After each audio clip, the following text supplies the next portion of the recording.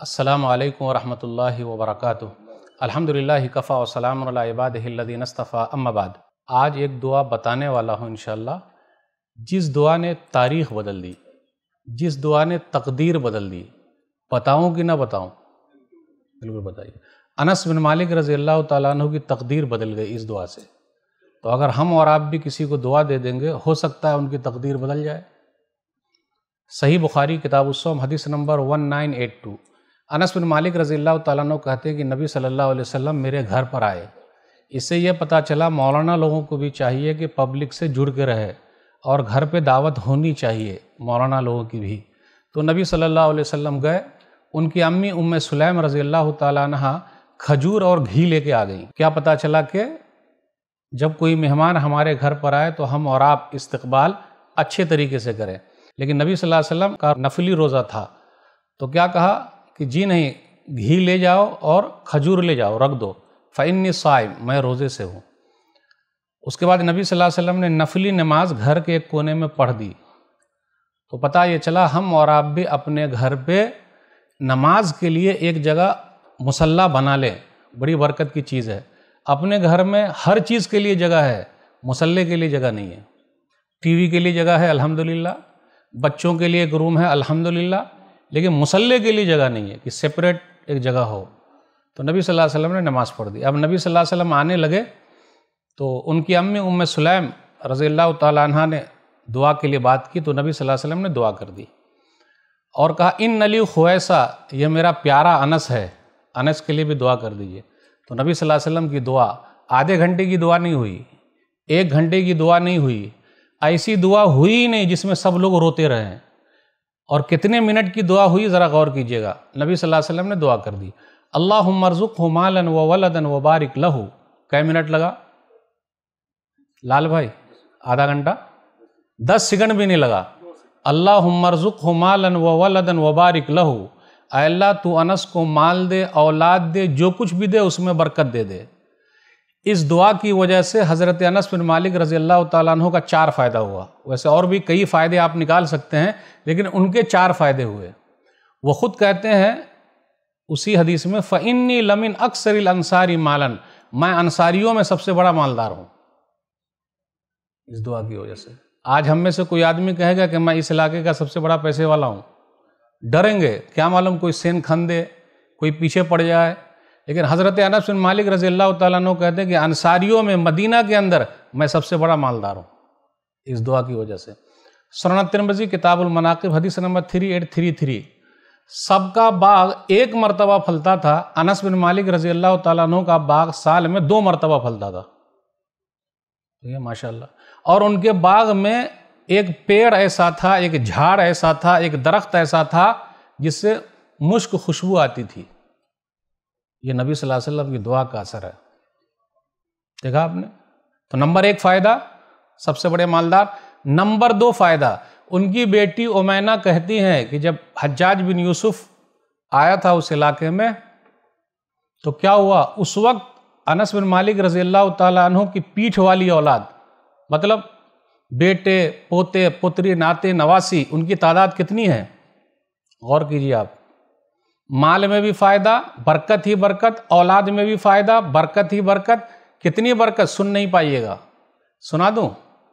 चलिए सुना ही देता हूँ। कितनी औलाद हुई होगी? आज हमारे पास क्या है? एक के बाद अभी नहीं, दो के बाद कभी नहीं। छोटा परिवार, सुखी संसार। आप गौर करें, पाँच नहीं, दस नहीं। कितने बच्चे थे? बीस।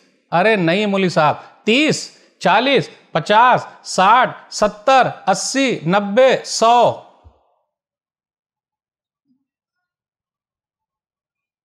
अरे मौली साहब, रुकिए। सौ? नहीं नहीं नहीं। एक सौ दस? नहीं। एक सौ बीस? एक सौ बीस से भी ज़्यादा बच्चे थे इस दुआ की वजह से। तो इस दुआ में हम और आप ये हिस्सा नहीं लेंगे, वो वाला ले लेंगे। अंसारियों में सबसे बड़ा मालदार है, पैसे वाला। लेकिन ये वाला नहीं लेना चाहते। अब आप बताइए, मदीना की बस्ती छोटी सी बस्ती है, अनस बिन मालिक रज़ी अल्लाह के पास 120 बच्चे हैं 120 से भी ज़्यादा हैं, कहाँ से खाते होंगे, कहाँ से वो कमाए होंगे, बिल्डिंग कहाँ होगी, कहाँ रहेंगे, आजकल ताना दिया जा रहा है, कहा जा रहा है, बहुत ज़्यादा है। अभी मैं एक वीडियो क्लिप देख रहा था, एक औरत 25 साल की है, उसके पास 25 बच्चे हैं एक औरत 25 साल की है, उसके पास 25 बच्चे हैं। तो रिपोर्टर ने पूछा, बहनी, कितना इरादा है? बोले 25 और ताकि हाफ़ सेंचुरी हो जाए। दुआ करे अल्लाह ताला उनकी हाफ़ सेंचुरी पूरा करा दे। भाई, हर आदमी एक तरीके का थोड़े ना है। जिनके पास औलाद है, वो भी परेशान है। जिनके पास औलाद नहीं है, वो और ज़्यादा परेशान है।